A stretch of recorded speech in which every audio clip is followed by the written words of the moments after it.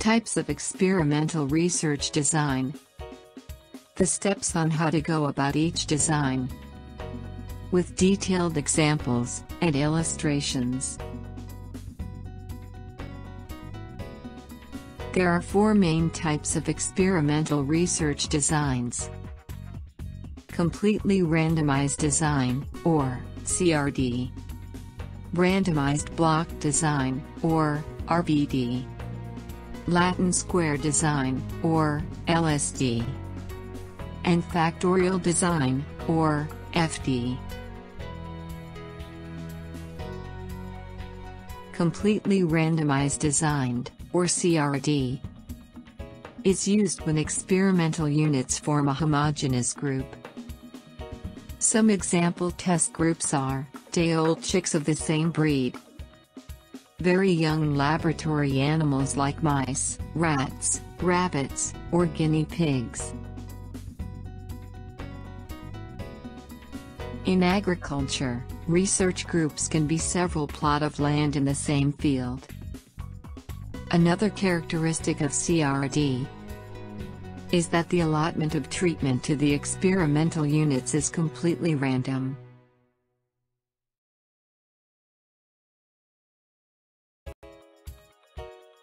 Suppose there are n experimental units, and T treatments, and each treatment is allotted with n replication units at random. Then, the formula is, n equals n times t.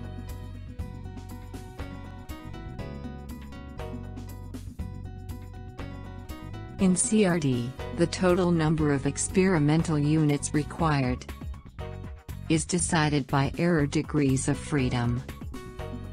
And, for precise test of significance in CRD, the minimum error DF should be at least 10.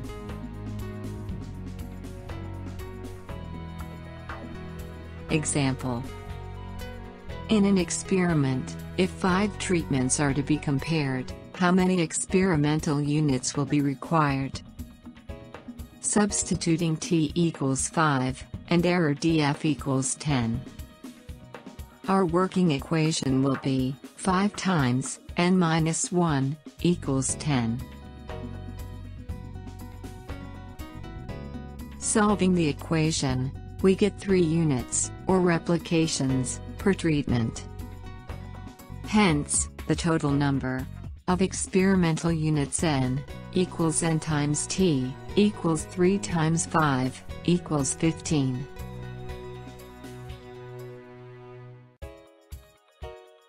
In this CRD experiment, with 5 treatments, 3 replications, and 15 experimental units total requirement. Take note of how each of the experimental units have been allotted randomly to each treatment.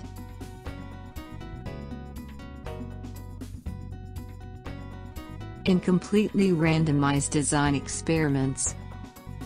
Here are some values for the T treatments, N replications, and N total experimental units. Computed using the error DF formula.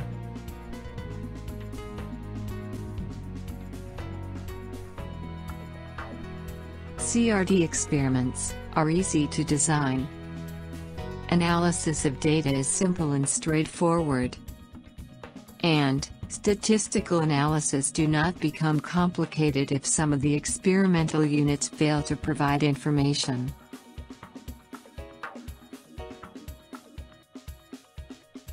But, the design requires homogeneous set of experimental units.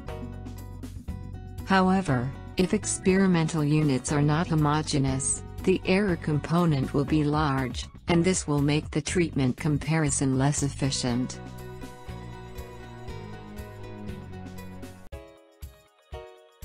Another experimental research design is the randomized block design or RBD. This is an improvement over CRD. It is applied when experimental units are heterogeneous.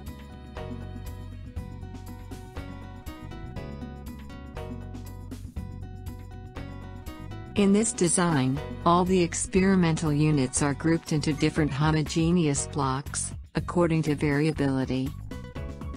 And the number of experimental units within each block, are the multiple of treatments.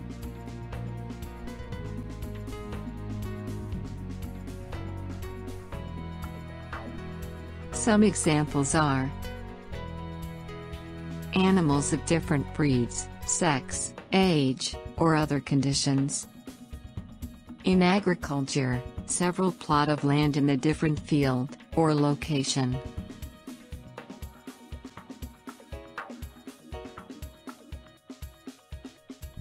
Species of plants in various environmental, or weather conditions. Take note, in this design, the allotment of treatment is completely at random, within the homogeneous block.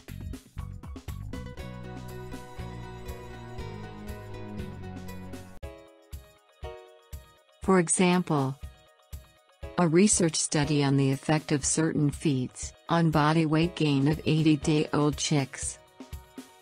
Different breeds of chicks are New Hampshire, Plymouth Rock, Cornish, and Sussex.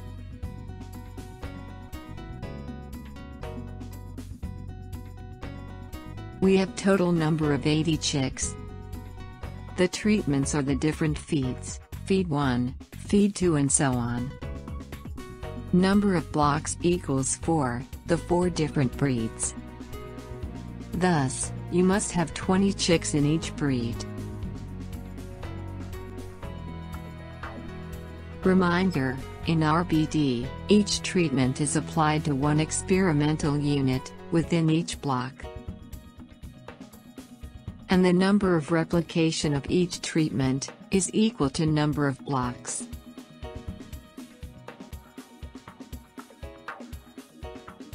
The number of blocks, and number of treatments, will be such that the error degrees of freedom should be at least 10. For example, in a research study with four treatments, we can compute for the number of blocks, by using the formula for error DF.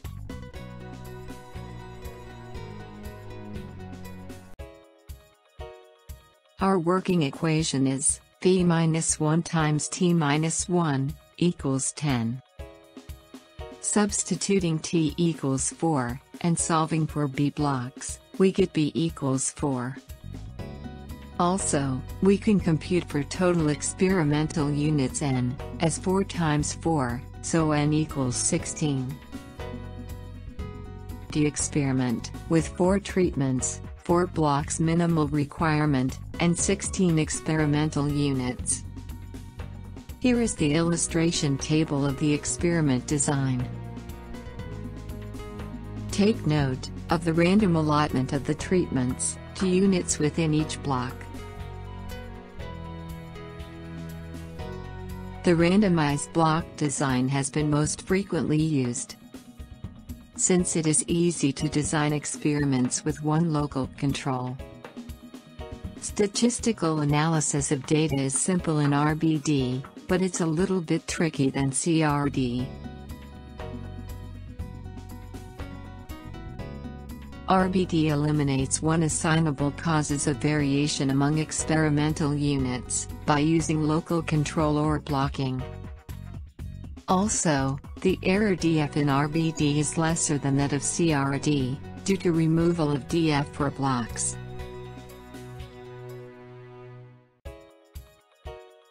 However, when the number of treatments to be compared is large, then it becomes difficult to get large blocks of homogeneous experimental units. The analysis of data becomes difficult, if one or more than one observation is missing. Under such condition it will be necessary to remove or omit that block. What is the randomized complete block design? Just remember that for RBD, there can be one block, treatment combination missing. We can say that in that case it is incomplete.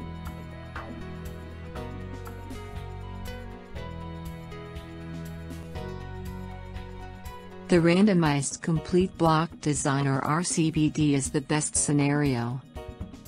Since all the block treatment combination is present in the study.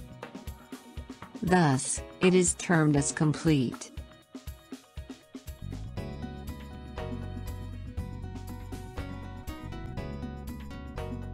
Another experimental research design is the Latin square design, or LSD. Here, the number of treatments is equal to the number of replications. For M treatments, there are M squared experimental units, or plots, arranged in a square. Also, the M treatments are then allocated at random to these rows and columns, in such a way that every treatment occurs once and only once in each row and in each column.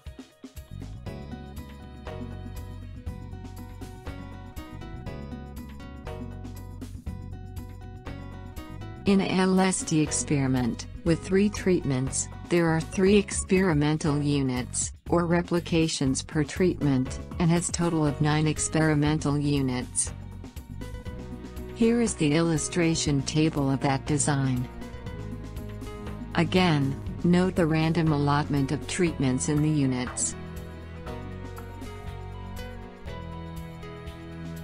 Here we have another example for Latin square design, an agricultural experiment. With factor in rows, seed variety, factor in columns, soil fertility, and given with three treatments, fertilizer A, B, C. Here is the illustration table of that design. Again, note the random allotment of treatments in the units. The advantages of LSD includes It controls more of the variation than CRD or RBD. The statistical analysis is simple though slightly complicated than RBD.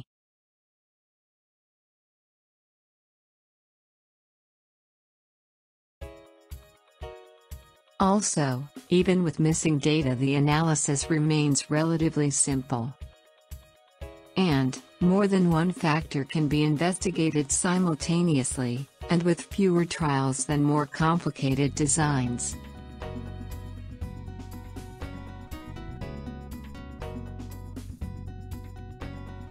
However, there are disadvantages like, the fundamental assumption that there is no interaction between different factors, that is, the factors act independently, may not be true in general. Its field of application is suitable only for the number of treatments between 5 and 10, and if too large, it does not remain homogeneous.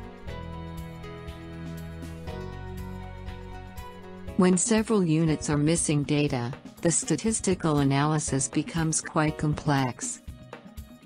But unlike in RBD, we can easily omit the data for these blocks, without complicating the analysis at all.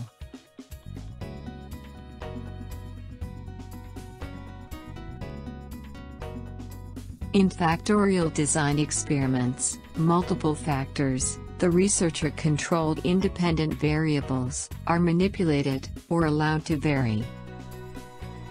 They provide researchers two main advantages. First, they allow researchers to examine the main effects of two or more individual independent variables simultaneously. Second, they allow researchers to detect interactions among variables. An interaction is when the effects of one variable vary, according to the levels of another variable. Such interactions can only be detected when the variables are examined in combination. Here are some examples of factorial design research studies, with different levels of independent variables. There can be 2 by 2 design, 2 by 3, 3 by 4, 4 by 5, and so on. In here, there are two factor or two independent variables being studied. Here is another factorial design research experiment, with three independent variables or three factors, which are treatment, setting, and dosage. This is a 2 by 2 by 3 factorial design.